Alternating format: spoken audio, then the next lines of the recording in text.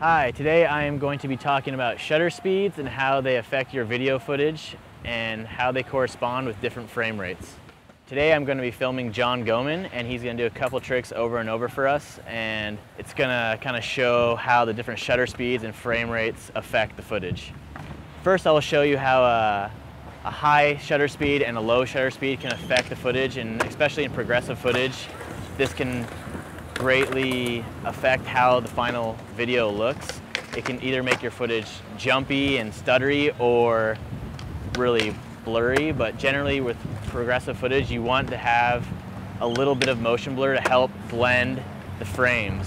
It's a lot different than interlace footage where you have odd and even fields that uh, help blend your footage together and you're able to shoot at frame rates up to like 1 1000th or 1 2000th, whatever you want to film at, where with progressive footage, you need to film at lower shutter speeds so you get a little bit of motion blur that helps blend your footage. Each frame is an individual photo pretty much, and if you don't have a little bit of motion blur, then you're gonna have kind of a, a jumpy look to your footage. It's like gnarly windy. All right.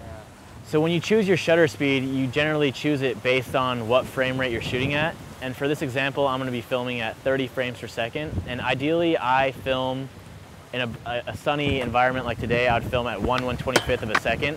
What this does is it introduces a little bit of motion blur, but it's not too much or not too little, and it helps smooth the final video and gives it a nice clean look. For this example, I turn the shutter up to 1 1000th of a second. When you freeze the image, you can see it's a really sharp image, but when you play back the video, the video looks a little choppy and not as fluid. Yeah, one more.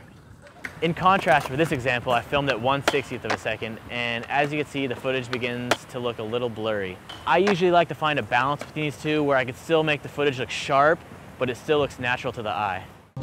When shooting action and skating, a lot of people like to shoot at 60 frames per second because this gives the option for slow motion later.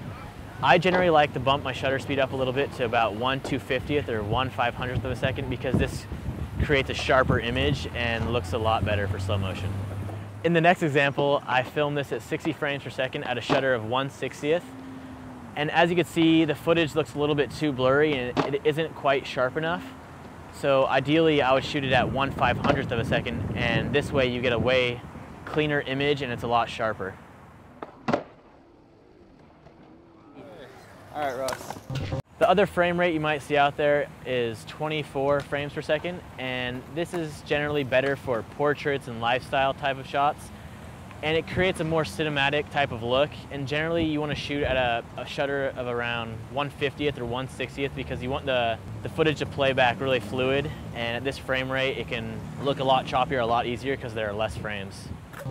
So hopefully that gave you a little insight into the effects of shutter speed. There is no right or wrong. Um, it all depends on what your final look is going to be. So get out there, have some fun, and be creative, and see what you come up with. Is that all right? I kind of I kind of stuttered a little bit, but oh, I feel so bad for you editing this footage later.